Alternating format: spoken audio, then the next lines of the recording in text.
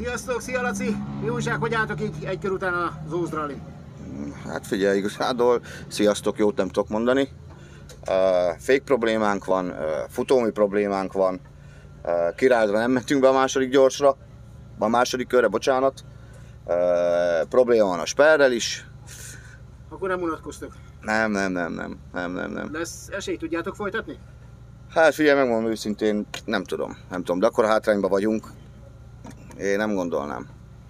Hát ha Nem gondolnám. benne azért szurkolok. Jó, oké, és köszi Köszi, szépen, sziasztok. köszi. Ciao, ciao, ciao.